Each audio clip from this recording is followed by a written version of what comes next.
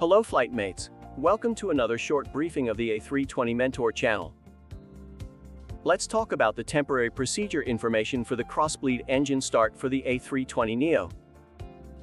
Without further ado, let's dive in. Welcome to this short briefing about the temporary procedure for crossbleed engine start on A320neo. If during your flight preparation you find out that you have deferred item ATA 36122A, APU bleed valve, you must apply the operational procedure for this item. No APU bleed air will be available for main engine start or air conditioning.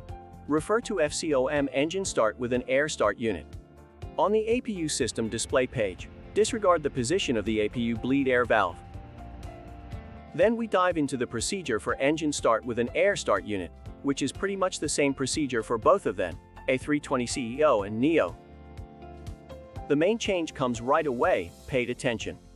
Once we are done with the engine start with the external pneumatic power, we must proceed with the cross-bleed engine start procedure, which has the main change. So let's us now to dive into it. When we go into the procedure, we will find out that we have a yellow note, not currently applicable, modified by temporary information. So disregard this page and proceed to the blue temporary info. Now I will highlight only the main changes with the procedure before second engine start on A320neo. The first one is, the receiving pack must be off. And the second one is, the thrust lever of the supplying engine must be at idle power. I hope that you have enjoyed this tutorial, your comment are always welcome.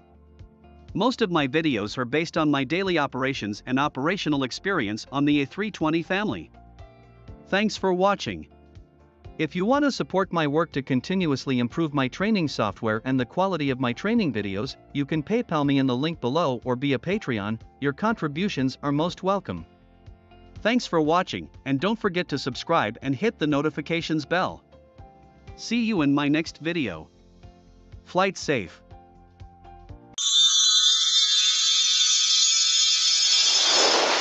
A320 Mentor Channel.